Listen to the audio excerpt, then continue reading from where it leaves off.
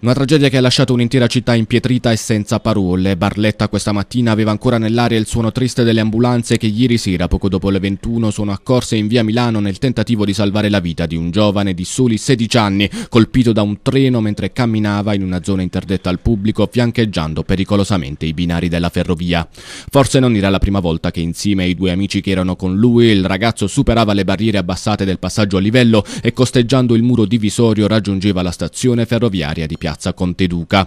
Era il modo per accorciare il normale percorso che da via Milano avrebbe portato alla stessa destinazione, ma allungando di qualche metro. Secondo una prima ricostruzione, i tre giovani stavano camminando parallelamente ai binari quando avrebbero incontrato un ostacolo durante il loro percorso. I due ragazzi che accompagnavano la vittima avrebbero aggirato l'imprevisto accostandosi al muro divisorio. Il più sfortunato dei tre lo avrebbe invece fatto allargandosi verso il lato dei binari, sui quali in quel momento era in arrivo un Eurostar freccia bianca. Il treno viaggiava a una velocità di circa 90 km orari ed è bastato che sfiorasse appena il ragazzo per provocargli un colpo mortale alla nuca e lasciando praticamente illiso il resto del corpo. I due amici che erano con lui prima di essere portati in ospedale in stato di shock hanno chiamato immediatamente i soccorsi, ma purtroppo per il loro compagno non c'era più nulla da fare. Sul posto per i rilievi del caso sono intervenuti la polizia locale, oltre ai carabinieri e agli uomini della scientifica. Poi c'è stato spazio solo per il dolore degli amici e dei parenti, insieme all'incredulità delle decine di persone che ieri sera hanno affollato il passaggio a livello di via Milano.